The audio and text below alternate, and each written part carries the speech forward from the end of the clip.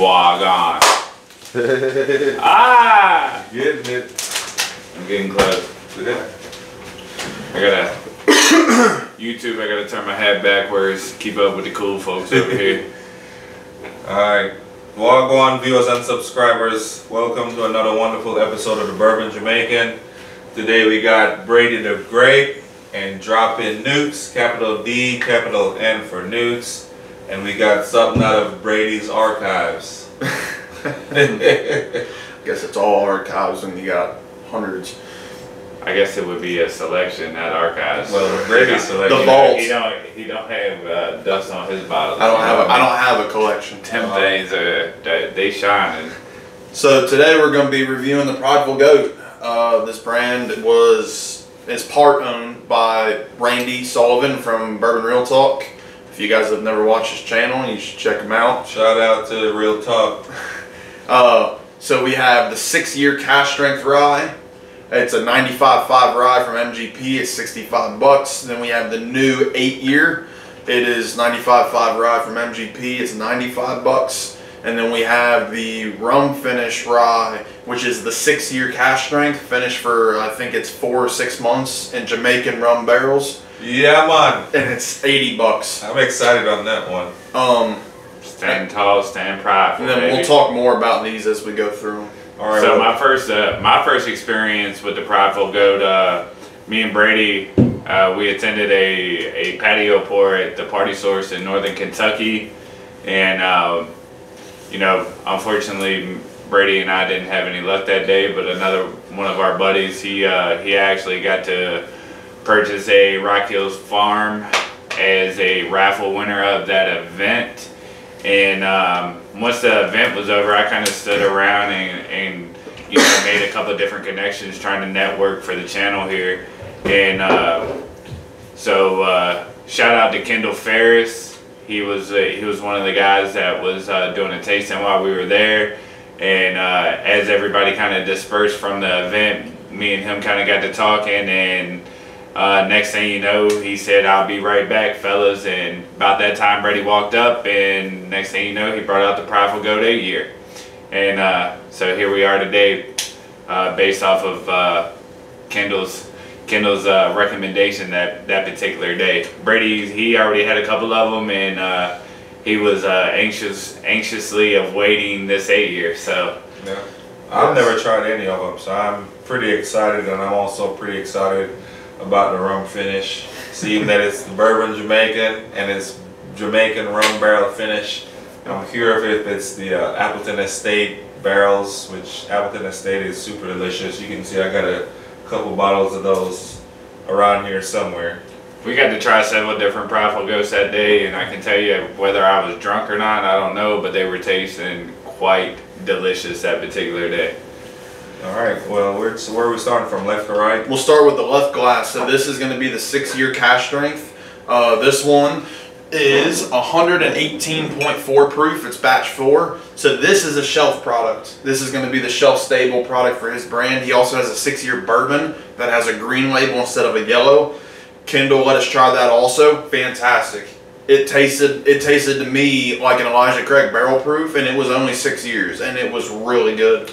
Glass on is rye. Yes, it It is. is very high rye. I can taste the rye right It is off. 95% rye. I get dill on the nose, but what I like about it is I don't ever taste it. Uh, you get 100% Which one? rye. Which one did we taste that day that he said that we probably would never taste again? That's the rum one. The rum one. Yep. So we'll talk about that more when we get to it. What I what I love about this, I've never gotten it on on anything else ever.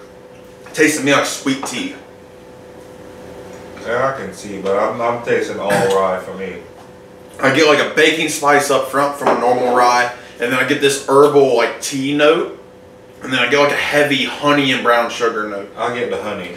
and that's why it kind of reminds me of a sweet tea. But man, it's a long finish. You ever drink vodka and sweet tea? Yeah, sweet tea vodka. Firefly. Firefly, yeah. The, Not saying that I get vodka with this at all, you got that sweet tea vodka. but yeah, the I I was I get the honey more than anything out of Yeah, out of all the honey. flavor notes. Absolutely. It's it's solid for 65 bucks for a 60 year cask strength MGP. I think it's a pretty decent deal. But like you said, Sheldon, you got to be good with a lot of spice. Yeah. I mean, it hits you. So next we'll go to the eight year. Same mash bill, still MGP. This one is 122 proof. It's batch two. Coming in hot. Um, this one is limited release. I don't know how many batches they made in total, um, but the only reason they call them they're, they're listed as batch numbers is because in one of the episodes of Bourbon Real Talk, Randy was talking about how their blending tank tank isn't large enough to hold like hundreds and thousands of barrels. It holds a limited number, so they have to blend it over and over and make sure it's the same every time and label them as different batches. So the proofs will vary. So this one, I immediately get oak on the nose. I get the oak, but I'm getting a lot of molasses. It's very sweet, desserty kind. I'm getting a lot of, probably a hint of honey too, almost. But it's very, it's on the sweeter side, which I like. And the, uh, I get a citrus on the back end.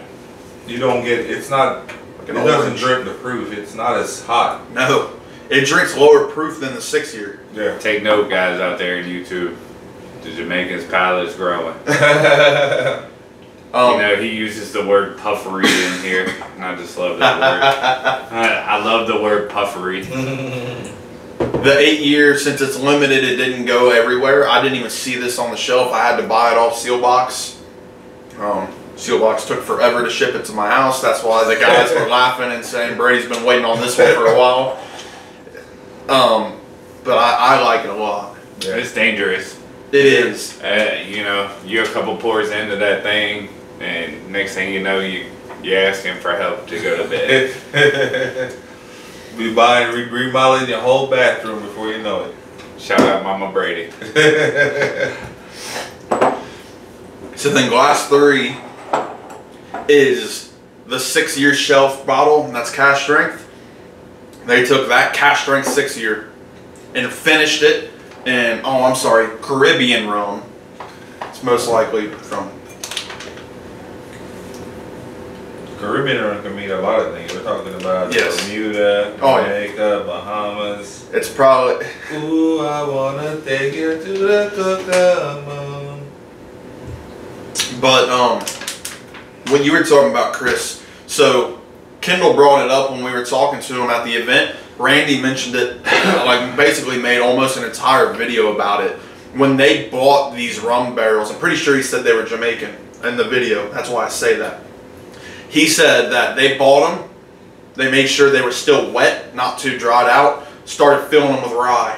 And he said that when the- he was getting shipped samples to taste it, because they weren't aging it in Texas where he lives, he said a lot. He said a lot of the samples tasted nasty, and he was like, "What the hell?" So they shipped a lot of the barrels down to Texas, and he said that the majority of them were rotten. What? The barrels. Wow. So he said that they had to like hand pick. They had to taste every barrel and hand pick the good ones and blend them. And he said between the cost of of importing the barrels, aging them in the barrels, and then that whiskey not being drinkable and having to throw it away, he said it's not worth the effort or the cost. So he'll never do it again. So how much is that bottle? That one was 80. Um, but he did it because his wife's favorite whiskey is Angel's Envy Rye rum finish. So it was like a tribute to his rye. To Fun his fact, woman. that's not one of our favorite Angel Envies for No. you YouTube No. people out there. No, it is not. the the nose is really sweet. It is delicious. I like that texture because you get the the rye, but you can also taste a little bit of that rum, that spice. So it's like double spice. You get the rye spice plus the rum spice. When I smell it, I get like a like a crushed red pepper on So the going nose. into going into it, was it was it the rum finish that you weren't sure that you were gonna like, or was it this one? I Before we tasted them with Kendall, Yeah, the rum. yeah, that's uh because I couldn't I couldn't remember, but I remember you saying, you know, I don't I don't typically like the rum finish, so blah blah blah, and he was like, well, let me put you on, I'll be right back. he went back to the car three separate times, folks. He was he was a, he was a great great dude to run into, and, and we're uh, we're blessed to, to come across Kendall, a fun loving dude, and um, Yeah. we appreciate all the love you showed us that day. But I Straight tell, up. you, I'll tell you what, that rum finish, it almost has a lot of coffee bean. It's almost like Yes. coffee. I'm tasting like coffee beans almost. I agree. It doesn't that. drink to the proof at all. Like No. it's another dangerous bottle that that if you are if you are a rum rum kind of person out there, you're not hip to the bourbon or like the bourbon. Like this is this is one of them bottles that you put your people on. But uh, unfortunately, like you said, the import of, of the barrels was just so outlandish. Like it's it's hard to come across. So. You know, the fact that he said that particular day we probably wouldn't come across and Brady has a bottle, obviously we're lucky enough to uh, continue it to enjoy that that spirit. But it's a good crossover. What's crazy about that rum rye though is that you can barely tell it's a rye. Right. Like drinking these, the first two, and then going to it, the rye characteristics are slightly there, but it You complements Yeah, it. you definitely get a rum finish. Yes, it's more rum than rye to me, but you get the rye on the on the back end. You get that like slight citrus baking spice note, where up front, excuse me, I get slapped with like pepper and molasses and uh, um, what what was the other a note? little You said bit of Coffee. coffee, the yes, coffee beans. those are the first three things I get, and then it slowly fades into the rye, Yeah. which is really interesting. It's yeah, it's very flavorful because it, it kind of lingers. So the initial sip, you get like a quick burn, and then as you swallow, you just everything just kind of just mellows out. So all of the different parts of your tongue, you're getting all different kind of taste, tantalization or tantalization, I should say, and you get you get all of it all at once. But then you just get that nice rum finish. It gives you a little bit of warm hug, but it's not like overpowering. Yep. So it's just it's it's perfect. It's a little smoky as well on the second. yeah, that's sip. what I was going to get at. It. It's a little smoky char to it. Yeah. But you think that's that that's coming from that Texas heat or what? Yeah. So this, Because This that did- was that was ended up being finished in Texas. right? They spent the last, I think, the entirety, almost the entirety of the rum finish was in Texas. I think it only spent like one or two months in Indiana, and then they spent like four or six months in Texas. That's a very good point because any anything like Still Austin or uh, Milam and Greene, that kind of stuff, the Texas whiskeys, I always get like a campfire note. Right. Not peated, but like almost peated. And what's crazy is that's 116 proof. Yeah. It doesn't drink them. It, like I, honestly, whether my palate's acclimated or not, it, it it almost drinks like a bottle of bond. So it's very welcoming. Yeah, Yes. like it's a it's a good thing to put your friends on too. Unfortunately, you know we don't know if it's going to be a staple of the Prideful Goat or not. You're just gonna have to you know spend that money, bourbon real talk. But uh, luckily, all three of these are still available on Seelbach's for now. I would imagine the rum finished rye is probably running low since it's been available for about two months now, and they said this was like a one and done kind of thing. Um, I don't know about you guys, the eight year to me is the best of the three. I if you don't own, if you really like spicy rye, and you don't own the eight year, that's what I'm. I would buy one. If you want the ride to come in, just boom, the sucker punch you. That's definitely. But Where you where you placing that in your top? As Of far as ryes? ryes? Yeah. Not top three. No. We we might was have to blind curious. it. We might have to blind it because to me, How about we we each bring our top favorite ryes? hang on, hang on. The there. Michter's toasted rye you can't include because it's toasted. I, I understand I can't bring it. hold on, rye, so y'all think y'all are trying to open that Parker's heritage? Come on! I know where he was going with this. I know where he was going with this one. Come on. that Parker's rye, the Jack Daniels rye, barrel proof rye. You put the Jack Daniels up there? Yes, the old Overholt ten year rye, and um, I know there's one more I'm missing. Will oh, Old Forester, Old Forester barrel strength rye. I think those four are probably my top four, and then this one and Old Ezra seven sit at number five. I'll throw that Willet four year rye in there. I'm That's sure gonna you will. lose. You think so? Oh, easily. Parker's. They're not throwing the Parkers in there. They're they're pulling my leg right. Come on, stand tall and stand prideful. but guys, I hope you all enjoy this wonderful time with us. Again, Brady, thank you for bringing these. These Shout out Kendall. Shout out Party Source. We appreciate you guys.